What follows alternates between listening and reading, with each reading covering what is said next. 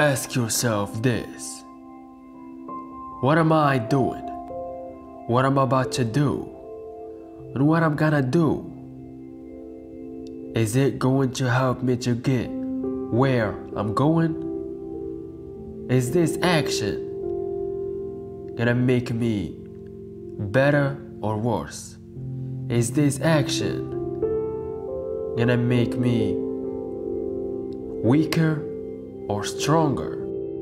If you ask anybody who is a champion the same damn question, the difference between them and their opponents is they were more hungry for it. You have to be disciplined every single day. You have to train your mind every single day. You have to train your body to be disciplined every single day.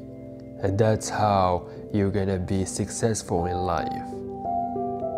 You have to do it when you don't feel like it.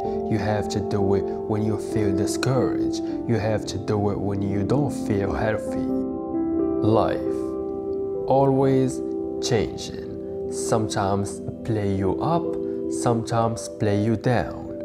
But be aware of that. Things are not going to work out exactly how you want it. Sometimes they will. And that's when life is just playing a game with you.